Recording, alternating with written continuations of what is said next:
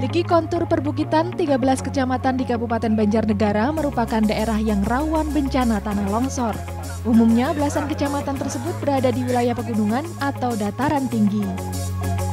Untuk mencegah dan mengurangi resiko bencana, Bank Indonesia bersama Pemkap Banjarnegara melakukan penanaman sejuta bibit kopi untuk konservasi di seluruh wilayah Kabupaten Banjarnegara.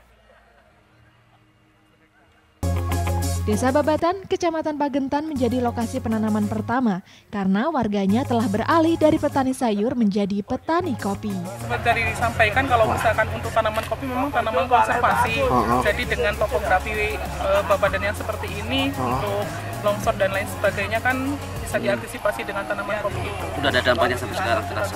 Oke, Sudah ada dampaknya. Untuk aliran Sungai Tulis itu kan e, bisa di karena erosinya berkurang ya? erosinya berkurang. Dulu sempat terjadi longsor di wilayah Sikopel. Alhamdulillah dengan e, seperti ini nanti tanaman wisata Sikopel juga yang 2 hektar akan ditanami untuk tanaman kopi. Kopi dinilai memiliki nilai ekonomi jauh lebih tinggi dibanding tanaman sayuran. Harga yang jauh lebih stabil dan komoditas yang lebih tahan lama membuat perekonomian warga lebih menggeliat. Dari sayur jauh banget kan. Sayur dulu kan harganya fluktuatif banget. Kalau lagi banyak panenan harga jatuh. Kalau lagi mahal susah sekali ditanam. Kalau kopi kan cenderung stabil, harganya stabil, harganya stabil. Terus seandainya lagi panen raya itu bisa dijual kapan saja, bisa ditimbun dulu.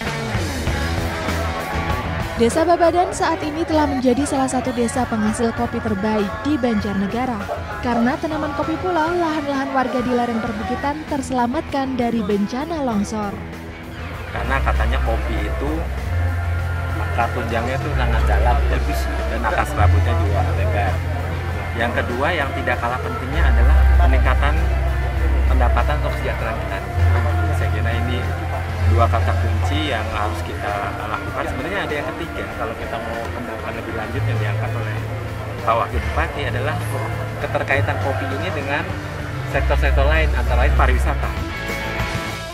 Dengan bertambahnya tanaman kopi di Kabupaten Banjarnegara, nantinya diharapkan dapat memenuhi kebutuhan kopi baik untuk skala lokal, nasional, maupun internasional. Saat ini, jenis kopi yang berasal dari Banjarnegara menjadi salah satu yang diminati para pecinta kopi. Bayu Nur Sasongko melaporkan untuk NET.